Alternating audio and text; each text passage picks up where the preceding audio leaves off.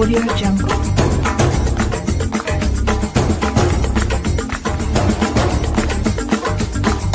Audio Jungle.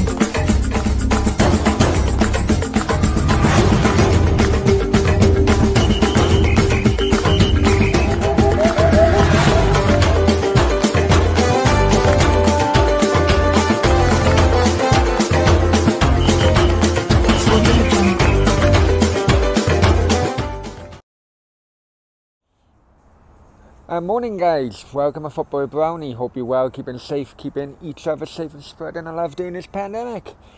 Because we all need a little bit of loving, guys. We all need a little bit of loving, especially if uh, you're a little teenager who was uh, uh, harassed and threatened on YouTube last night by a 55 year old mate, uh, mate, 55 year old man who realised that he couldn't uh, take on a teenager himself, so he threatened to bring his friends, or so-called friends, let's be honest, because he got none. Anyway, anyway, enough about that. Um, please like, share, subscribe, Football Brownie, also on Facebook, YouTube, all the other uh, platforms. Now with um, with uh, COVID uh, battering the Premier League teams, not much to talk about, so I still need to get the content. So, uh, over here in Dubai, uh, it uh, hit the news uh, last night with um, the anti protesters. I, I'm trying to uh, word, word it uh, fine so that YouTube don't bring up, or basically kicking off in London.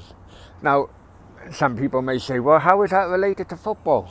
Well, in one video, um, you know, one guy was was um, showing off his uh, Stone Island badge.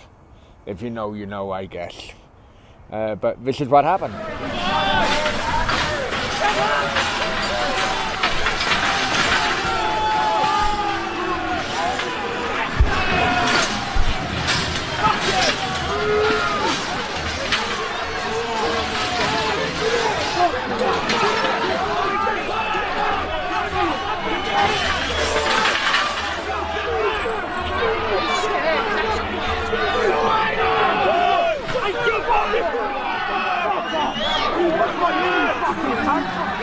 You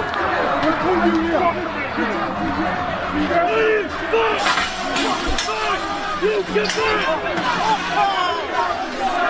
back!